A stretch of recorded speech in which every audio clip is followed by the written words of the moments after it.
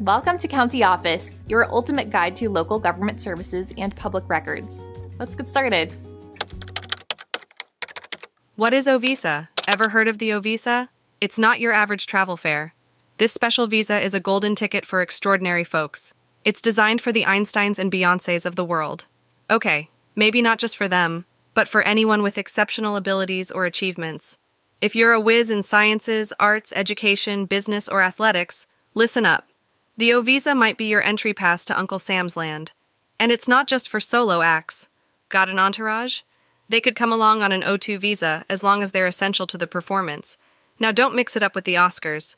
There's no red carpet, but there is a petition process. You'll need a U.S. employer or agent to vouch for your extraordinariness. They'll file a Form I 129 on your behalf. Here's a pro tip gather all the accolades, awards, and kudos you can. They're your proof of extraordinary ability. And the higher your stack of evidence, the better your chances. But remember, the O visa isn't forever. It's typically valid for up to three years. Need more time? Extensions are possible, but you'll have to keep proving your extraordinary status. Dreaming of dazzling the U.S. with your talents? The O visa could be your spotlight. It's a path paved for the best and brightest, leading straight to the land of opportunity.